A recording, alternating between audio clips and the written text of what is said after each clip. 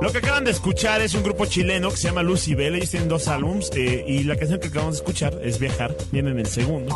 Muy bien, pues señores de Chile. Y han venido varias veces a tocar aquí al DF. Igual los han pescado. Son bastante buenos sobre el escenario. Un, un show entretenido es el que ofrecen. Oye, y como uno nunca sabe dónde va a parar tanto la revista Switch, donde se con- eh, donde viene contenido este disco compacto, ni el disco compacto en sí, pues hay que platicarle un poquito a la gente de qué se trata el mañanero. Primero presentarnos, ¿no? Pues sí, también.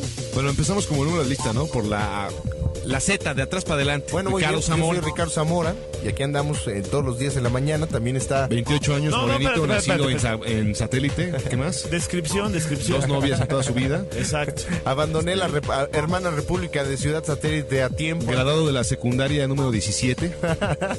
Sí, un uniforme verde con no. gris. Nunca estuve en ningún club de Boy Scouts. Aprendió inglés con su carnal en San Francisco. Siempre detesté el club de Rotarios o de Colonos de Ciudad Satélite.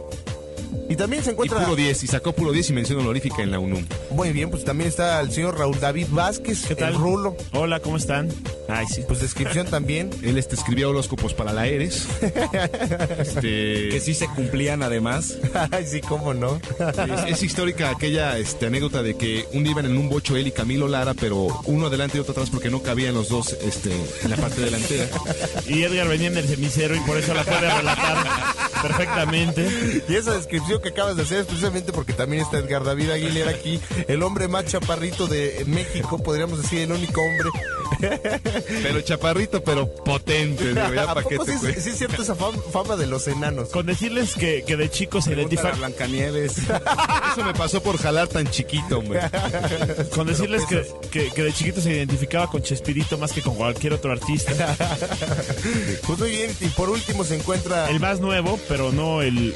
no por algo el menos estrenado, podríamos Exacto. decir. La parte fresa del programa. El magnate y millonario Hugo Villaseñor. Heredero de la planta de Puros Te Amo.